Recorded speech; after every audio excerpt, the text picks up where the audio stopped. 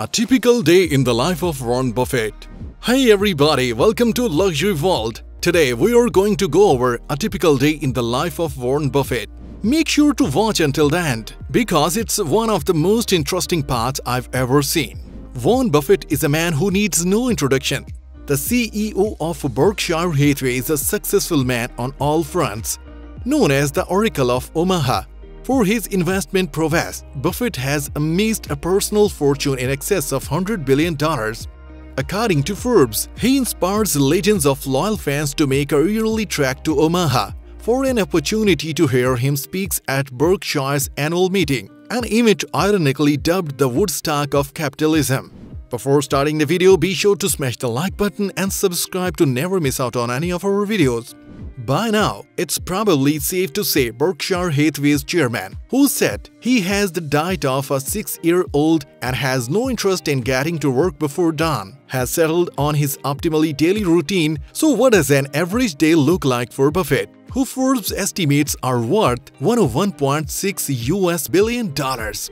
Buffett was born to Howard and Leila Buffett on August 30, 1930 in Omaha, Nebraska. He was the second of three children and the only boy. His father was a stockbroker and four-term United States congressman. Howard served non-consecutive term on the Republican ticket but espoused libertarian views. Making money was an early interest for Buffett, who sold soft drinks and had a paper route. When he was 14 years old, he invested the earnings from these endeavors in 40 acres of land, which he then rented for a profit.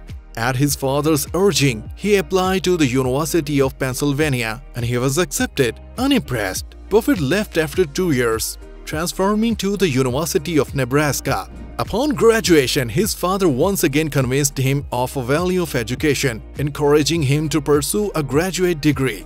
Harvard rejected Buffett, but Columbia accepted him. Buffett studied under the Benjamin Graham, the father of value investing, and his time at Columbia set the stage for a storied career, albeit one with a slow start. Upon graduation, Graham refused to hire Buffett, even suggesting that he avoid a career on Wall Street. Buffett's father agreed with Graham, and Buffett returned to Omaha to work at his father's brokerage firm. He married Susan Thompson and they started a family. A short while later, Graham had a change of heart and offered Buffett a job in New York. I have no desire to get to work at 4 in the morning, he told BPS. Warren Buffett is somewhat of an early riser, especially for a man of his age. His day starts at 6.45 am after getting at least 8 hours of sleep each night. When Buffett gets up in the morning, he doesn't reach for the coffee pot. Instead, the billionaire investor opens the fridge to get an ice-cold can of Coca-Cola. The man claims that around a quarter of his totally daily calories come from sweet soda. He drinks around 5 cans per day every day. If that surprises you, then wait till you hear about Buffett's breakfast. The man enjoys dropping into the local McDonald's for his morning meal, but unfortunately the man is so frugal that he lets the market dictate his appetite. Despite being able to buy every McDonald's location in the state, Buffett jokingly said in an interview that when the market is down, he'll OPT for the $2.61 breakfast consisting of two sausage patties. However, he'll put them together in one sandwich along with a Coke. He also said that he'd go with the $3.17 bacon and cheese biscuit when the market is up, like us. You're probably wondering why Buffett chose to go with such an unhealthy diet. The investor explains that he looked at actuarial studies and discovered that the lowest death rate was in 6-year-olds. So he decided to eat like a 6-year-old if he has the time.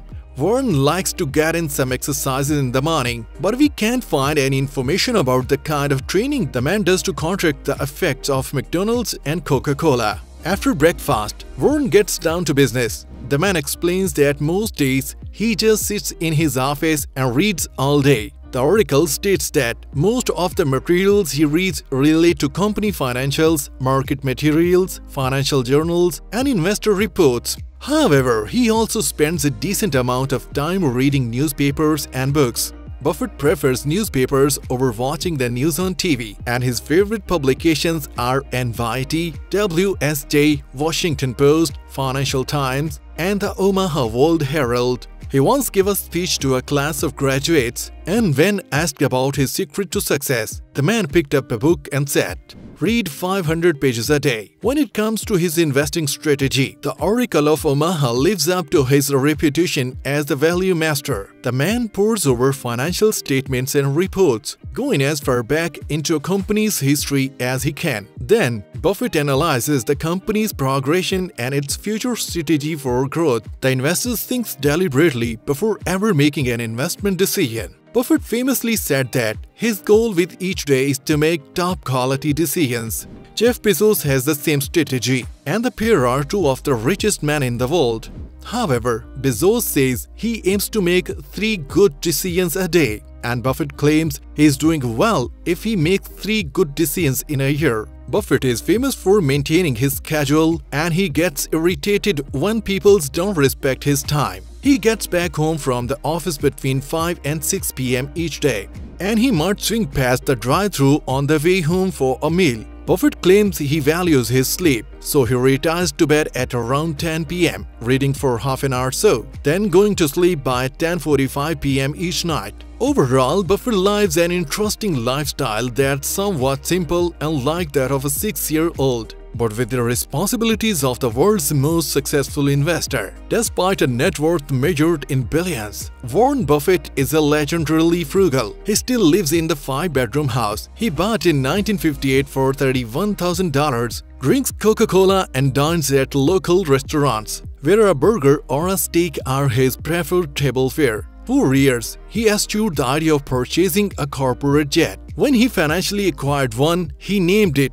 Indefensible. Public recognition of his criticism about money spent on jets, he renamed married to Susan Thompson for more than 50 years. After their 1952 wedding, they had three children, Susie, Howard, and Peter. Buffett and Susan separated in 1977, remaining married until her death in 2004. Before her death, Susan introduced him to Astrid Menks, a waitress. Buffett and Menks began living together in 1978 and were married in August of 2006. Yahoo Finance editor-in-chief Andy Serwer recently spoke with Buffett, Todd Combs and Ted Weschler in an interview in Omaha. Buffett hires Combs in 2010 and Weschler in 2011 to manage some of the company's funds. The two have rarely discussed their jobs in public. They are chosen for both ability and character, Buffett said.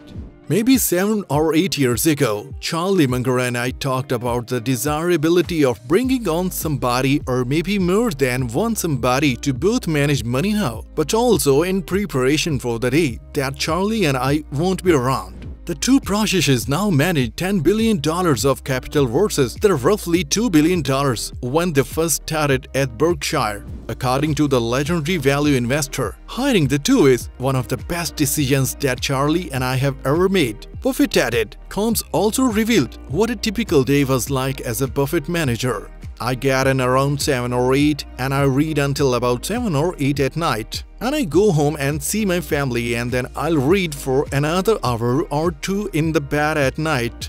And you know, there might only be 3 and 4 phone calls on entire week. So there are very very few interruptions, but it's literally just reading about 12 hours a day. The future looks to hold an increase in the amount of money that Buffett will continue to give. In his own words, I'm not an enthusiastic of dynastic wealth, particularly when the alternative is 6 billion people having that much poorer hands in life than we had, having a chance to benefit from the money.